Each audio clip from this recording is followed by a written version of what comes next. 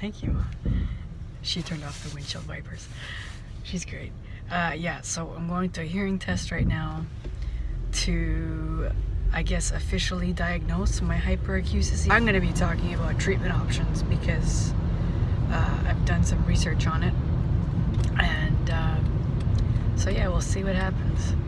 The test is supposed to take about half an hour to 45 minutes. And then I meet with my ENT specialist after that.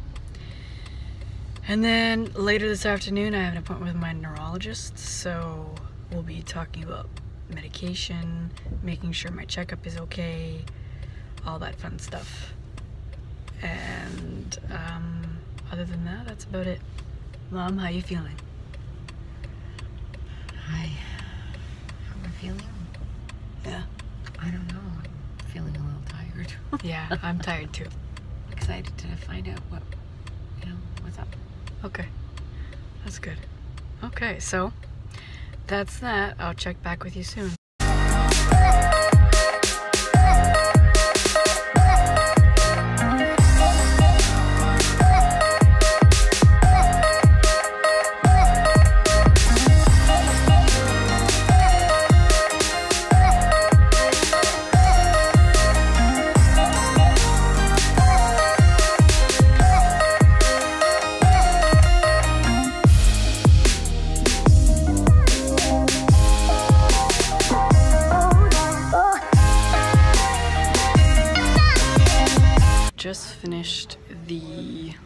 Hearing test and I'm waiting in the hallway because it's too noisy in the waiting room. It turns out that I do have hyperacusis, which I already knew, and I can only tolerate about 50 decibels and a normal person with normal regular hearing would be able to tolerate 100 decibels, so I'm about half so that was pretty surprising to me, but at least I know. And now I'm waiting to be seen by the ENT specialist to continue to talk about options. But I have two options either I go private or I go um, to a treatment program that they have here in the city and um, do some work with them. So, yeah, it's been a long journey. So, I'm just looking forward to getting back to normal life. All right, I'll check back soon.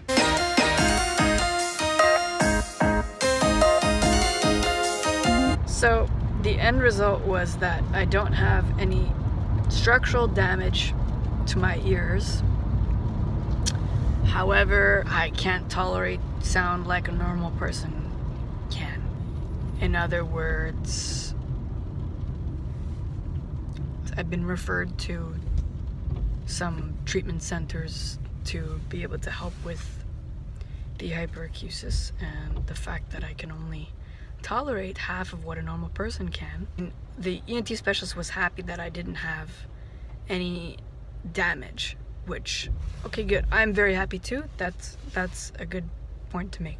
However, uh, I'm still left with not being able to resume my life in the way that I would like. So, how do you feel, Mom? It's a mystery. I know, it is a mystery. Can get concrete answers. I agree. Story of my life. For the last year. That's what it's been. Not being able to get full concrete answers, so. Lord help me. Anyways.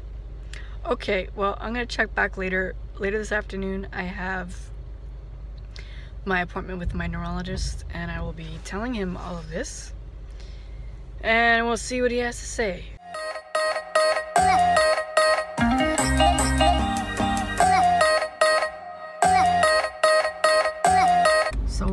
In construction now. And a little bit late for my appointment, but only like probably 10 minutes by the time we get there. So this is life right now. Yep, I can relate.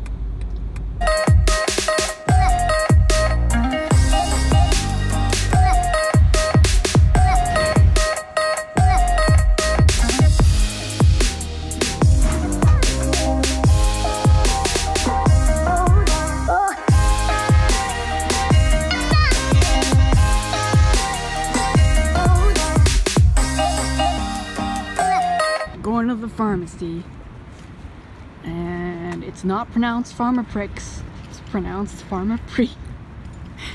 this is the equivalent of Shoppers Drug Mart.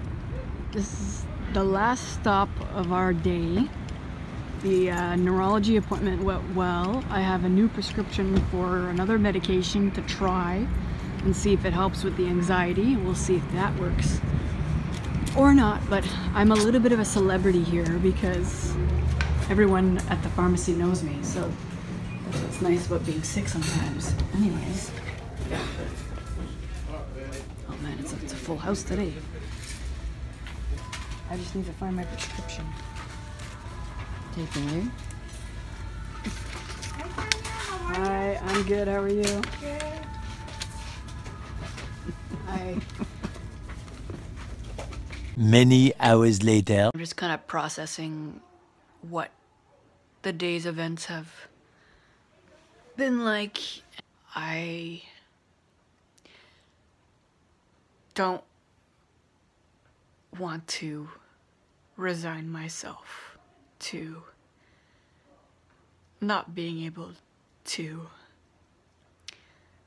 live my life how I'd like to. Yes, I can accept what the doctors and stuff are telling me, but I don't have to let that uh, impede my ability to be happy. I don't have to let that impede my ability to um, try to move on in some way and to actually like live my life because like I can't even like go out to places and so I think what today has taught me is that I'm gonna fight even more now. I'm gonna fight as hard as I can. Cause now this has made me upset. I just won't let this beat me. I'm not gonna let this win. I can't let it win. So, if you are dealing with anything that you're dealing with, don't let it ruin you. I'm not letting what I'm dealing with ruin me because I can't. I feel like I have so much more to give in my life. I'm in my late 20s, so it's like I have my whole life ahead of me. So I just will not let this thing beat me. Okay, I'm going to stop crying and uh, have some chocolate, and I think I will be good for the rest of the evening. Thank you for watching. If you've liked this video, and if this video has spoken to you, I hope that you can give it a like right down there. And if you haven't already subscribed, then I would love for you to join the family. I hope you have a good rest of your day. See you.